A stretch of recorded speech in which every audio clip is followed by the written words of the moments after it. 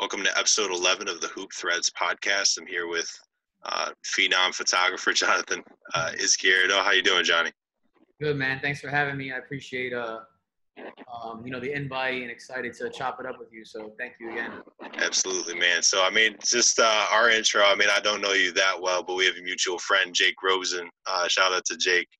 We go way back. I mean, I actually met him in uh, I think it was 2013 or no, I think it was 14. Uh, his freshman year at Syracuse, he was working the Boeheim camp, and uh, I've just been knowing him for for all that time. He's a great dude, and uh, he mentioned he mentioned you like when I went to I told him I was going to Peach and he's like, Man, you gotta meet Johnny. This kid's this kid's incredible. So talk about how you got to this point.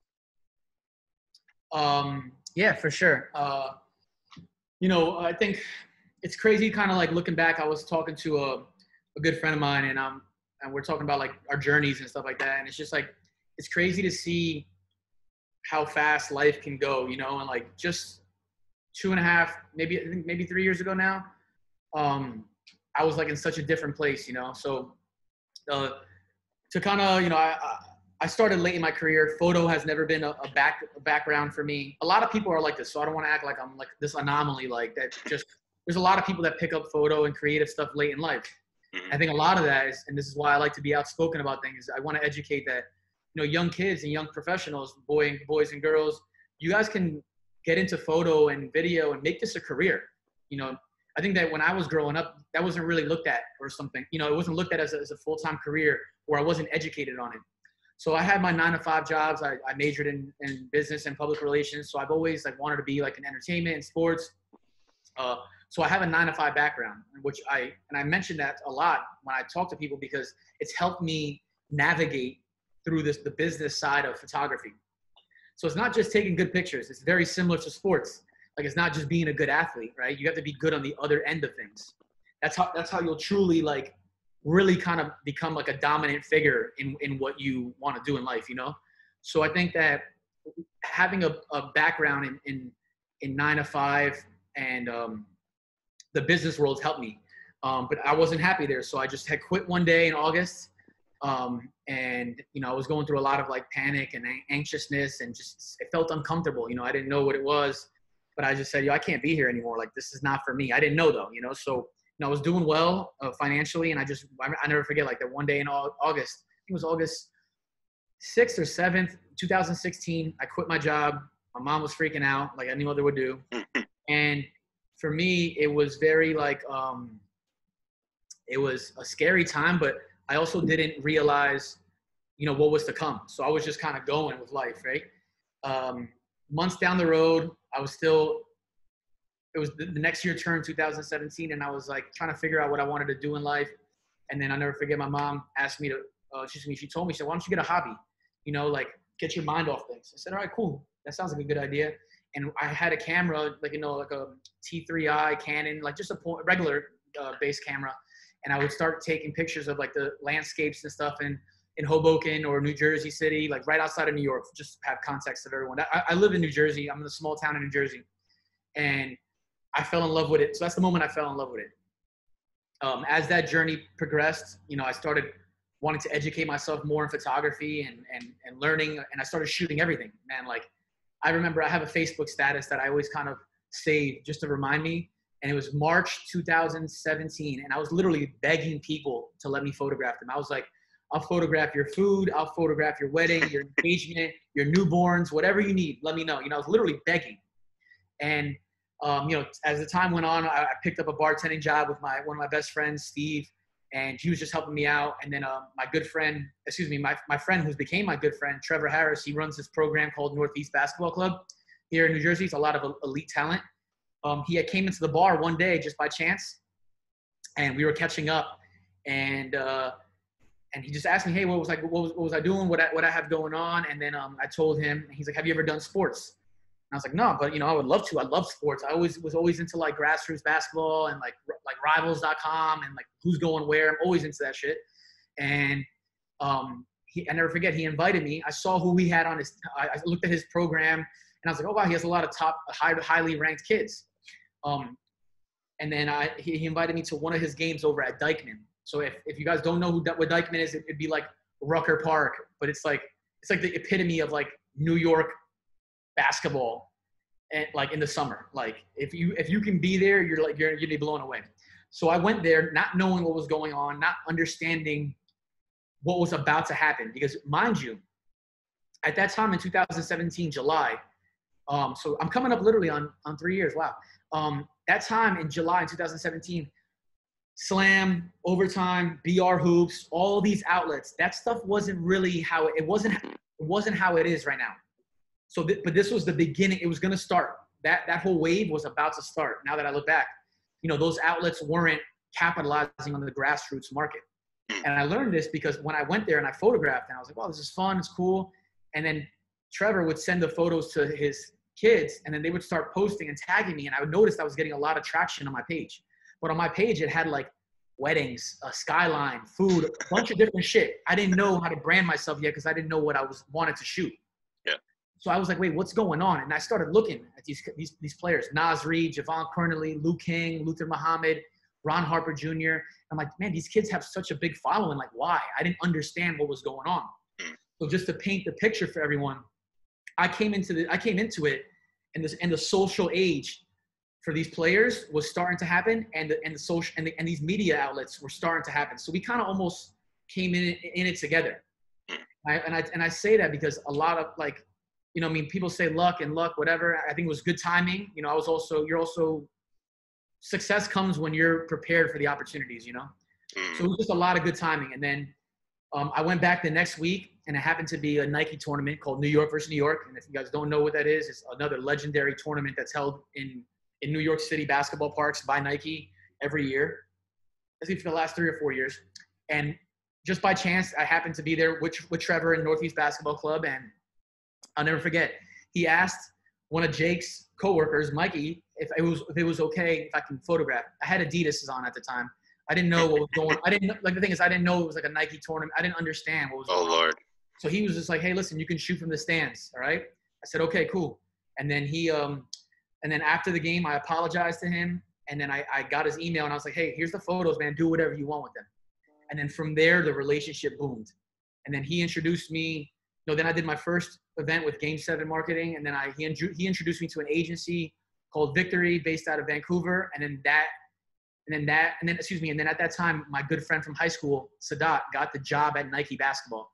So, like I said, and I wanted just to paint that picture because I think a lot of people, a lot of photographers will ask me now, how did it happen? And they think that I just would, I went to high school games and like some high school kid posted me and then it happened. Like, not. I just went, and at that time, no one was doing this shit. Like Cassy Athena was doing it on the West Coast, but no one. Like now, if you go to a, a high school game where I'm from, or anywhere now in the country. You mean you, you're you're in an area like that? It's like the NBA Finals with media. You know, it's, it's an influx of media outlet because they want. But at that time, no one was. Where in my area, no one was doing that. I was literally the only photographer, and we had five, four or five McDonald's All Americans at the time. So I came in at a time where the social age for the social boom for grassroots basketball was about to happen, for from from a player perspective and from a media outlet perspective. And then I was right there with no one else. So it was just a, it was just a really really strong timing thing. With that being said, though, I worked my butt off and was like just became obsessed with it and just kept going and going and going. I made a new inst- Instagram page and I just started branding myself. But again, I was doing I was going to all these high school games for free, shooting them, shooting them. They're only posting my stuff, so my page grew and grew and grew. And then I was as I was doing that, I, I was learning how to move and you know getting getting connected with brands and, and to create content. And then like that whole thing just kind of went like this and it just kind of matched up. So then I got to this point, and then like you know, I, you know, Lord willing, man, everything got busier and busier and busier. And as things got busier, I became more obsessed with like the craft of it. You know, like I didn't want to just be a high school basketball photographer. I wanted to shoot like global campaigns now. You know, so like I had new dreams and new goals, and I think that a lot that work ethic and that dream matched up with how the the like everything was going. So it kind of just like literally like just went all up together. Perfect storm. yeah, people. Yeah, it was like a perfect storm for me, and I think people would tell you like even Jake people would tell me like, yo, I don't know how you how it happened so fast for you, and I don't know either, other than that like logistics, you know. Yeah.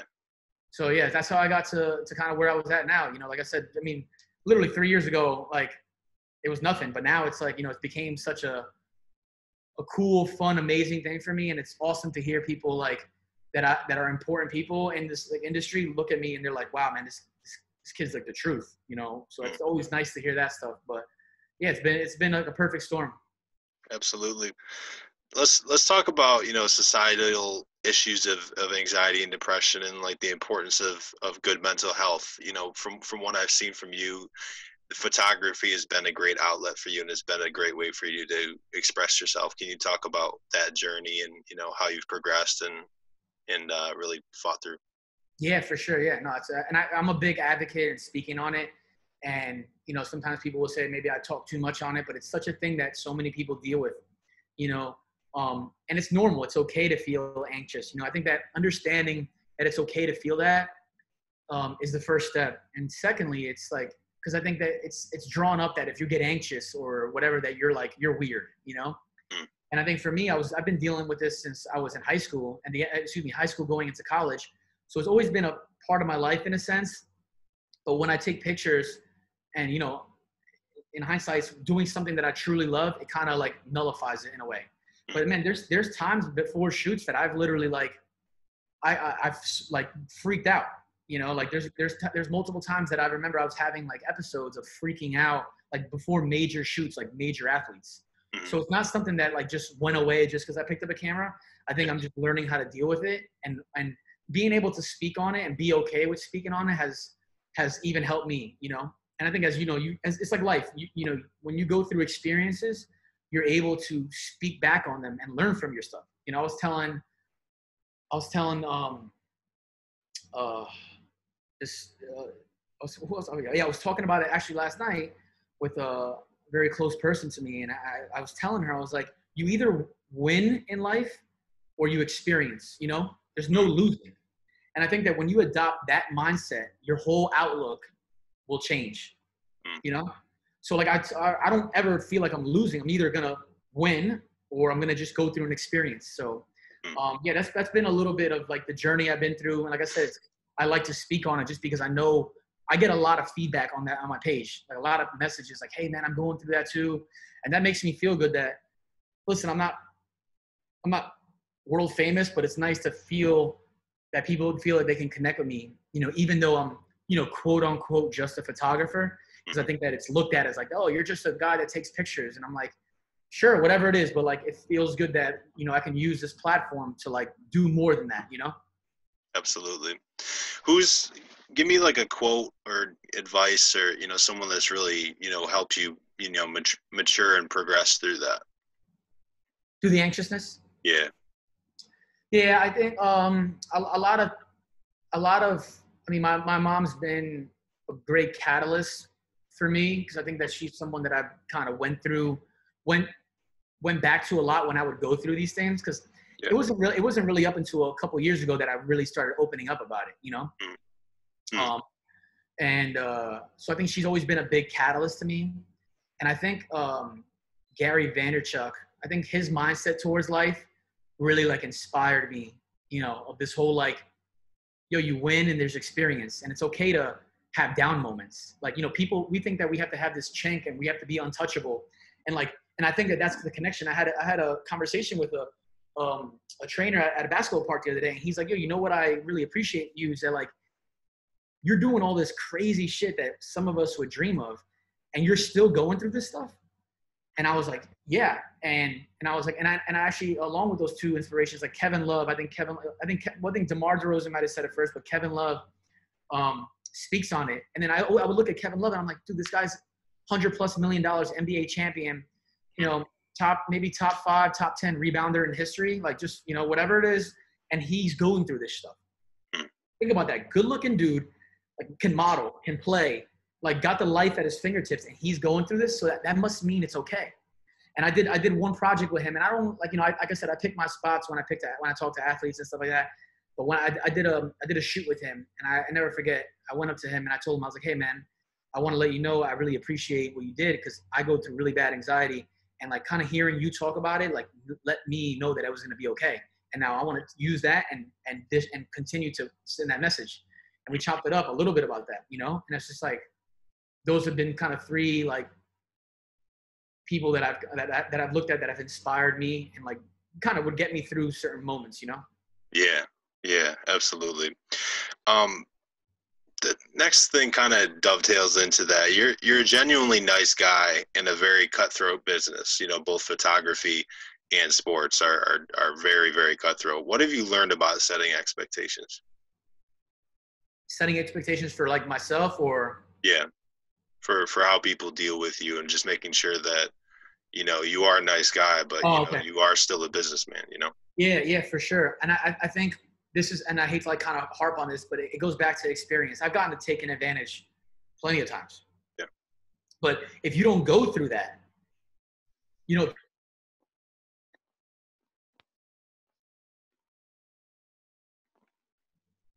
yeah. So I think dealing with, um, you know, being continuing to stay true to yourself, be kind, and deal with people in this cut in this cutthroat industries. You got to kind of go through it. Like, there's been multiple times that I've been shafted, underpaid, overlooked, or hey, we don't have a budget for this and all that stuff. If you don't go through that stuff, then you won't understand how to handle it. And I also think that's just part of the grind. You know, it's just it's it's no different than an aspiring basketball player. Like yo, you're you're training your butt off, right? You get cut from your team. You're training your butt off. You're not getting money. Oh, you're this this this AAU team doesn't want you. You got to keep pushing and pushing. So I think that stuff inspired me. That's one. And two, I never wanted to be. I like being a good dude you know, I don't want, I like when people reach out to me and feel like they can talk to me because I'm normal. I'm not, I'm not, there's not going to be no athlete that I can shoot or no amount of money or no amount of Instagram followers that's going to change me to the core because I'm still the same small town kid grew up with his best friends on the same street. Like I would never get away from that. And my dad and my mom, they always installed in me that you always have to like live below your means. Hmm. You know, so I've always had that mon- that mantra in my head that living below your means and and just being kind to me is like the root to being successful. Like, cause you're gonna people are gonna want to work with a cool dude or a cool girl or somebody that's reliable, trustworthy, like not gonna, you know, not weird. So I think just, I think not losing sight of who I was, despite being able to be around such awesome things and work on such cool projects and exclusive exclusive things. Um, just being true to myself has helped me, you know, not switching up. Absolutely. Let's talk about that progression of, you know, in the beginning, you know, going and doing events for free and, you know, reaching out to athletes. So talk about how that has evolved over time to the to the point where, you know, you are compensated or at the very least, you know, they tag you and stuff like that. Like talk about your relationships with the the guys that you shoot. Yeah, for sure. Um obviously like I said in the beginning it was much easier because there was no one really doing it. So they were like they were so happy to get content Hmm. You know, now we're in we're in a day and age now that these kids have so much access to whatever photo, video guy wants to come shoot them working out. Yeah. So they're less appreciative of it now, less tags. And I've also decided myself, you know, I've grown out of that in the sense of like I'll do workouts for like players I really like either care about or have a relationship with, but I'm not gonna go chase some high school player that's gonna like act like his shit doesn't stink, you know, like there's a lot of that stuff. You know, they feel very entitled, and, and it is what it is. But in the beginning, man, a lot of the a lot of those those guys, like like I mentioned, Jahvon, Ron Harper, Khalil Whitney, Scotty, Brian, Naz Reid, all these guys, um, they were they were loyal to me, like, and we built a relationship because one, you know, again, I was chill, and there was no one else going to these games, so we just built a rapport from that. Um, and I didn't really understand that you could make money from photog- from the sports world like I do now. Now I, now I understand. Yeah. Back then, I was just shooting it because I just loved shooting hoops and I thought it was cool. But then when I started seeing what it could become, is when I started changing my mind to like, oh, okay, like let me brand myself, let me brand my page, let me. I don't want to just be a guy that's only sharing high school basketball players during a game. I got to tell the story because that's how you're gonna get better and and and and sure and and um, separate yourself from the pack. Because then, as I was going, 2018 2019, like there was so many other photo and video, like really piling on. Hmm. You know, like I like I, like I told you, there was so it was a year and a half that I was literally the only dude. Now you'll go, now you'll go, and anybody's shooting anybody's workout. It's wild, and, and not it doesn't bother me. Like I want everyone to eat, but I'm just saying this is like these kids like they'll just take whatever. They don't, you know, they're not even like they'll even take subpar content just to have the content. It's like you know, it's crazy, but like you know, it's just, it's just a game that we are in now. It's very, very, very oversaturated.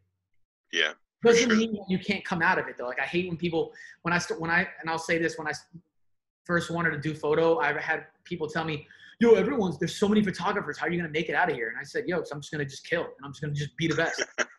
so you could make, even though it's oversaturated, doesn't mean your dreams are shattered. I'm just saying that the the you got to do something to separate yourself. Different. Yeah.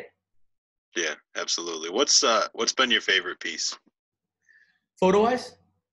I mean, photo, video. You know, what what have you done? That, that, I, that I've done. That I've done. Right. Yeah. That I've done. Um.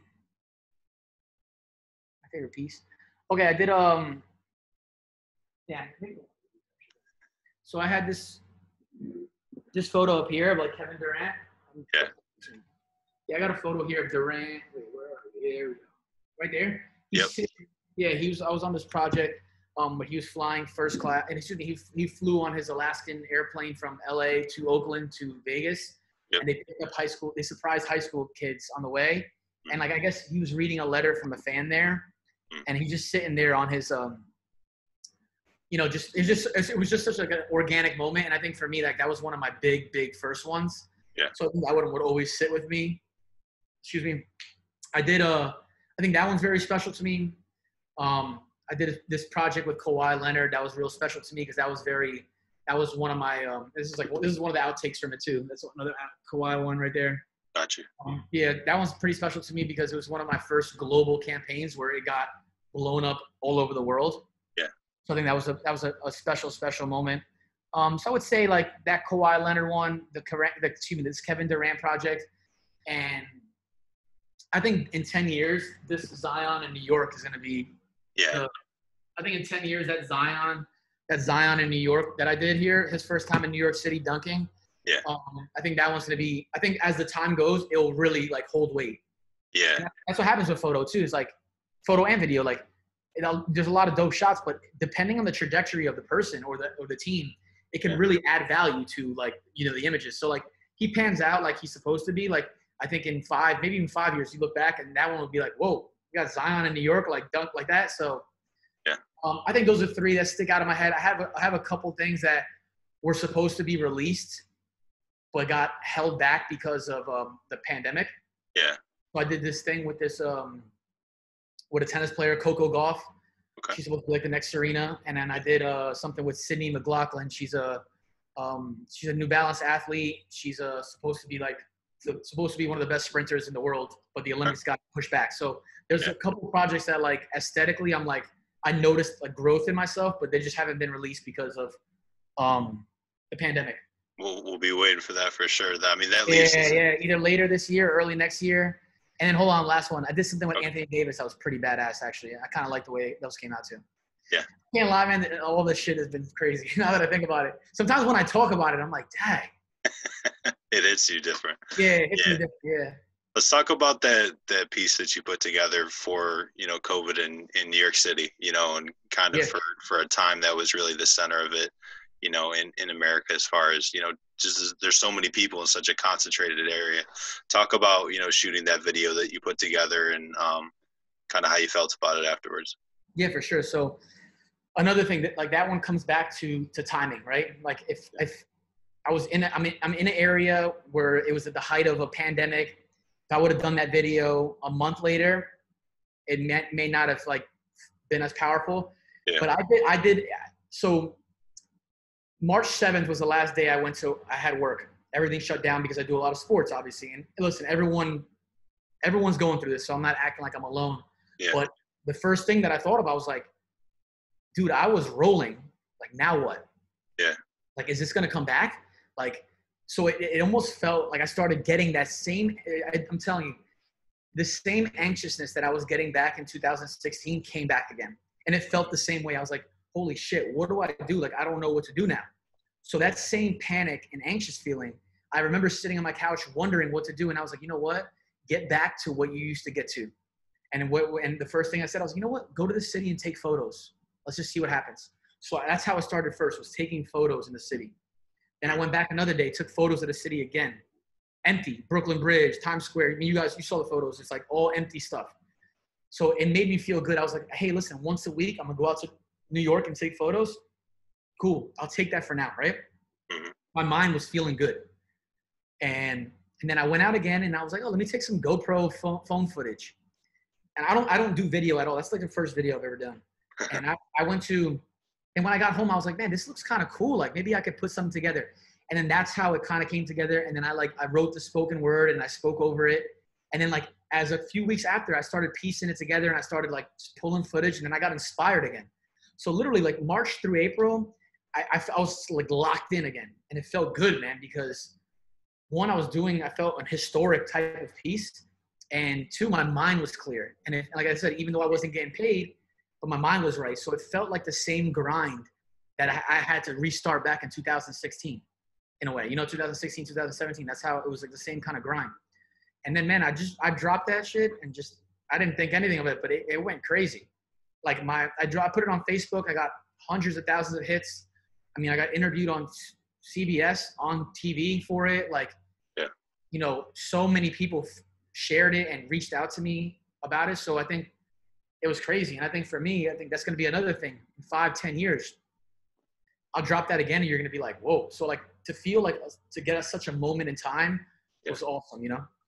And especially because I thought I really epitomized, you know, New York, like the mentality, especially like New York City. It just kind of the the resiliency and you know the the ability to kind of get through you know whatever you know yeah get through whatever yeah exactly and that's why i think in the in the message i said i said yo you know keep smiling and laughing keep writing and dancing because together um well, something i said something like we'll get through it together point is that like keep doing what you love to do keep doing what you can do like we'll get through this because that's what i was feeling. You know like hey you can't just roll over and sit here. Just keep trying stuff. Keep doing keep doing things like we'll get through this.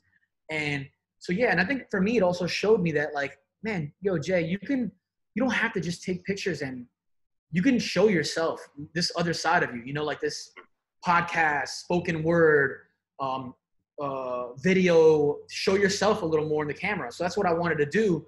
You know, that's my goal this year is to like, yo, be a little bit more in front of the camera and, and, and you know, use your platform. So I think it, it also sh- showed a new side of me. So I was excited for that. I feel like with creativity, you know, especially with kids, you know, if they just are able to draw, they're able to express themselves in some way, you know, through sports and something. I think that builds that confidence that opens like that that other, you know, kind of. I mean, part of your brain sounds dramatic, but it just yeah. kind of opens things to, you know, change your perspective and and helps outside of it uh, for sure. No, for sure, yeah, no, I 100% agree with that. Let's talk about the uh, unreleased collection. You know, I know that's mm-hmm. really important to you the the art collection that opened in, in Jersey City last year. Talk about you know putting that together, and um, I heard you had a, a, surprise team that you're pretty close with that that pulled up for that one as well. Yeah, yeah. I uh, so that uh, that was like a that was another impulsive thing, and and I and I'll say this because I think more people think a lot of people think of good ideas, but there's the re, the difference between me and them is that I I'll go through with it. Hmm. So like, and I tell kids, I'm like, if you want to do something, just do it. Like, who cares? You know what I mean? Like, don't wait for the pope. Don't wait for the perfect moment. Like, just perfect it along the way. Because if hmm. you keep waiting for that perfect moment in life, you'll never be able to. You'll always be waiting. You know, you're always going to be chasing this variable that you you may never catch, and then before you know it, it's too late. So that that collection, I just had a bunch of photos, and I just wanted to get everyone together, and that's how it started. And then I was like, you know what? Maybe I can tie in and raise money for mental illness and then you know i can kind of tell my story through this gallery so then like my point is like you know like as i'm planning it i'm seeing different levels i can get bigger and bigger with this thing you know i had a great turnout i think like 200 people raised a ton of money donated it i had this cool like wall build out with broken mirrors and then i had obviously a lot of photos that i've never shared and then a lot of um, around every few photos i had messages of how i felt while i was at that at those moments when those photos were happening so it's a very very intimate setting and that, was like the first time I've like rapped for somebody in like 10 years. So I think everyone was like, because I did like a, I did like an opening spoken word and then everyone was like, oh, okay, whoa, whoa, you know, so they were like freaking out. they weren't ready for that. They weren't ready for that one. So yeah, that was, um, that was, that was just a cool moment. But again, it's just something that like, I like to try things because I don't want to live in regret. Yeah. So, you know, like whether it's a gallery or it's a video of me spoken word or this is pandemic or this is pandemic video, like it, it's just, if I want to do something cool and it makes me happy and I think it's for a good reason, I just do it. Even if it doesn't like come out like how it's supposed to quote unquote come out, you know? Yeah. So yeah, hopefully I can get something done. Well, you know, I'll see how next year goes and I would like to do something else, you know. Is that available online? What? The uh, gallery, Like a oh, like, the available to see. online. I have a video of it, but I don't have like the photos aren't for sale. Is that what you were asking? Oh, no, I was saying just so that someone could see the gallery without being there, so they could view it Yeah, online. yeah, yeah. I'll send you. I'll send you it, so you have a link. Yeah, it's on my it's on my Instagram. Yeah. Okay. What's something you've learned about an athlete or a professional while shooting them?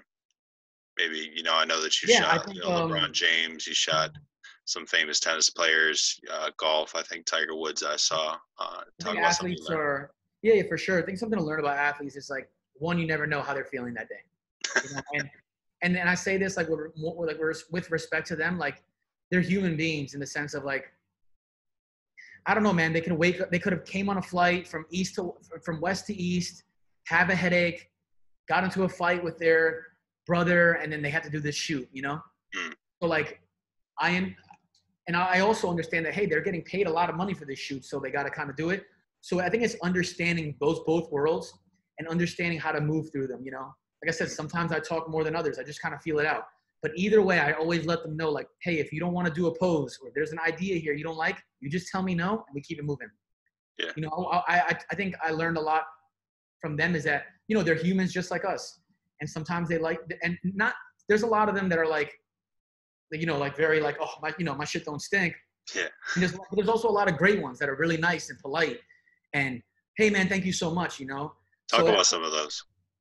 It's, it feels good when it's like that. Like, I mean, just off my head, like Victor Cruz, former Giants receiver, he's like one of my favorite people.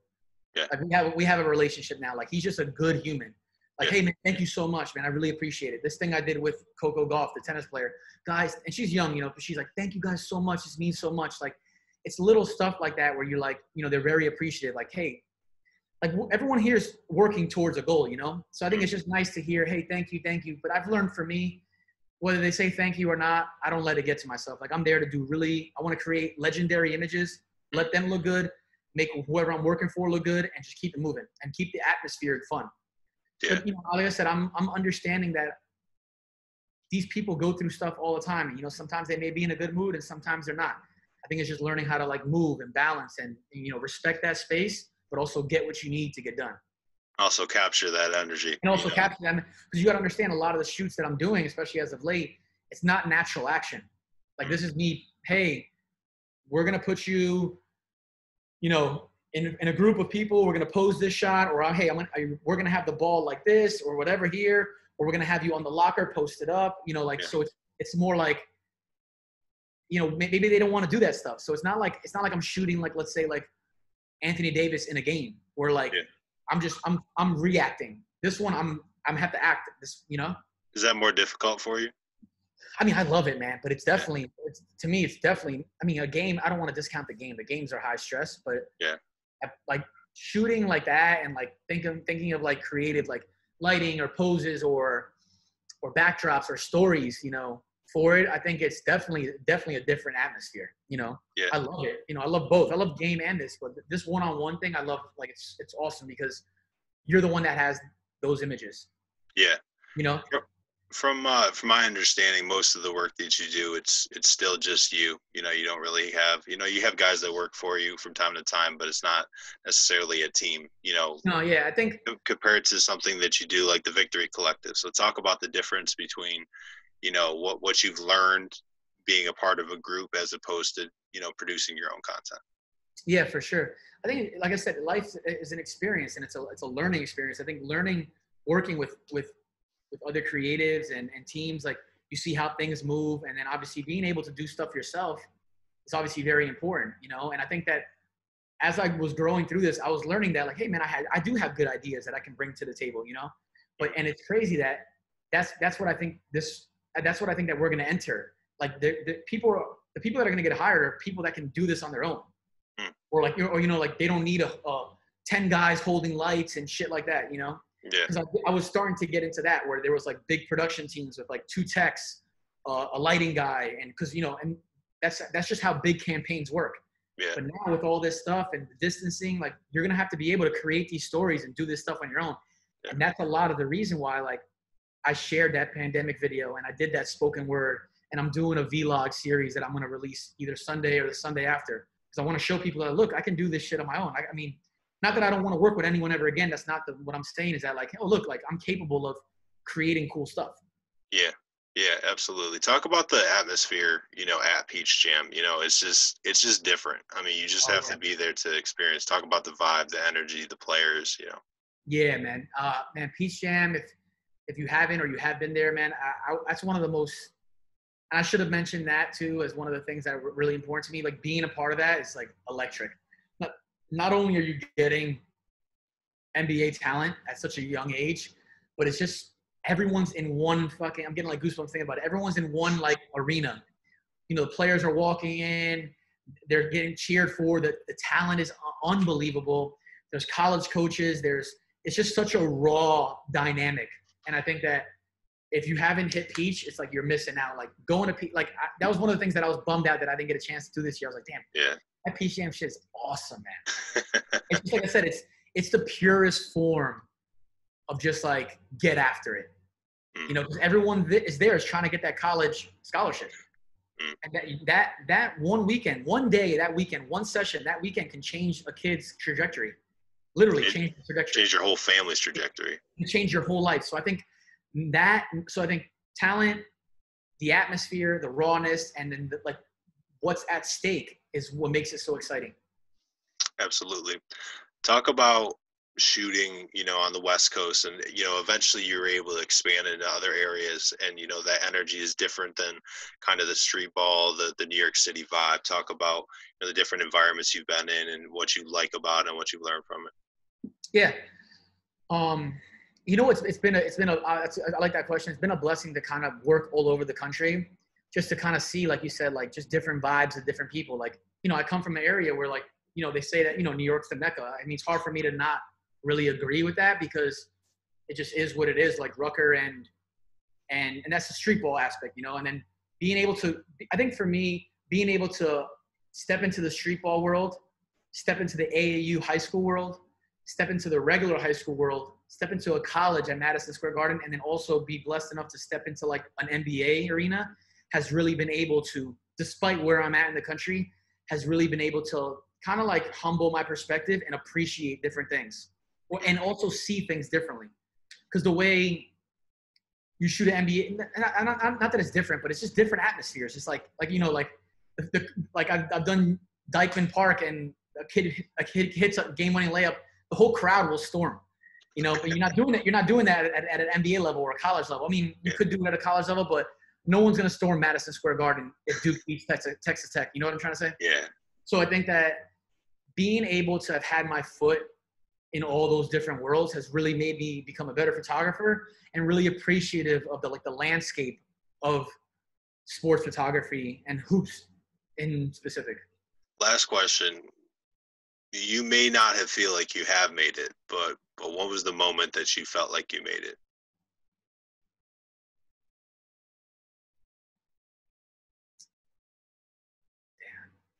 I think see like that's it's so crazy like because that, that's the issue. It's like, when have you made it? You know? And I remember I, I wrote something down on my board because every year I'll write down like my vision board, what my goals I want to be.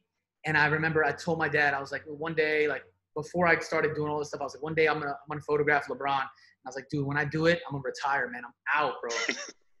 and I did it, and then I'm still here. And then I was I was literally talking to my buddy Danny yesterday, and I was like, man, I, I was like, you know, part of me wants to step into music a little bit, like photographing music. I was, like, I, I was like, yo, I need to photograph Drake, man. He's like, yo, one day it'll happen. I was like, bro, if it happens, I'm retiring. And it kind of brought me back to like that like LeBron moment that I had. And it's like, when when are you ever gonna be satisfied and be like, dude, you know what? I made it. You know? I mean, I think it's good to keep pushing and pushing and pushing and pushing. But when are you when are we ever gonna be like satisfied, like, hey, we made it? So for me, it's like I'm still chasing this, like, I'm chasing me 10 years 10 years from now. Mm. which is like a like a, a, crazy shit that I that it's a psychotic thing that I'm dealing with. But that's that's because I want to be legendary, you know. Yeah. I think this year, then this pandemic happened, but I, I think this year I, I started feeling it like, okay, I'm stepping into like a new level. Yeah. You know, and I, I don't think I'm at the level yet, but I, I think I definitely stepped into like a new level. I think a really powerful level that I'm, and I think I'm right there. Like I'm flirting with like a really, really elite, elite type of company. Hmm. Um, that's how I feel. Um, so yeah, I, don't, I didn't make it yet. Maybe next. I don't know. I don't. I don't. I don't. Listen, I'm happy, and I love what I'm doing. So yeah, I did make it, but there's still me where I'm like pushing it more. You know. I think I think you made it in other people's eyes, but but to yourself, you you haven't. Yeah. You're not going to. You know, you're get. Oh, yeah, I'm never going constant pursuit. You're in constant pursuit. Yeah. So I think I didn't make it in a, in a certain aspect, but like I am really happy and I'm in love with what I do. So I am like, you know, I didn't make it because I'm like doing what I love and I'm being able to do it. And yeah. I'm on my own time and doing cool shit. But like, I just want to keep going. You know, like the thing is to be successful and be legendary, actually, be legendary, you got to be consistent. That's a fact. I could have done this for one year and been like, boom, boom. It's like a one hit wonder. But now I'm on year three. Like, if I get to year five, year 10, and I'm doing shit like this, high level stuff, then, then I'll, then I'll be looked at as like, okay, whoa, this, this is like big time now. You know, and then 20 years, then you're like, whoa, okay like he's got, you know, you got it. So I think for me, it's just continuing to chase the consistency of being, doing great work, being a great person, and just doing cool stuff. Absolutely. All right. Well, you have the floor. Is there anything you want to talk about, or um, anything you got up next? I mean, I don't have anything yet. You know, not, not, I've not, nothing in the works. Like I said, I'm just shooting workouts and stuff. But I guess I'll just leave it on this note. You know, whoever listens out here, like whatever, whatever audience you have, man, if you want to, whether it's photo, video, music, whatever it is you want to do in life, just give it a shot. And like I said, you don't w- win or lose in life. You just win or you experience. And I think that a lot of young kids um, aren't educated on that. And hopefully, like you can take my story and see that I'm no different than you. Like, you know, I didn't have a background. I didn't come from some like crazy area. I don't. I didn't come with some like backing of money. I didn't. I didn't. It wasn't like a, a, a NBA player that took me under my wing and was like, "Hey, follow him." Like, work hard, be a good person, work even harder than that, and I think the good things will come for you. And if things don't happen for you at 22 or 25 or even 30, you can't quit. You know, you gotta you gotta continue to, to go. And I told I told uh I told I told someone I said if if I told you that at 32 or 35 your dream job would happen for you, what would you say to me? She, she said I would stick it out. So I think that not, just trust the timing in your life and and and where you're meant to be in your life is you're there for a reason. So if it doesn't happen for you when you think you should happen, doesn't mean that you should give up. So I'll leave it at there. Absolutely. Well, I appreciate your time. Thank you. For, thank you for coming on the show, man. Yeah, you too. Thank you for having me, and I appreciate it. And if you guys wanted to follow me, uh, my ad is um, at Johnnie J O H N N I E Izquierdo and that's the same as my website. So I appreciate you guys, and like I said, anyone who listens to this and wants to reach out and chat or ask questions, you know, feel free. Absolutely. Thanks, man. Take care. No doubt, brother.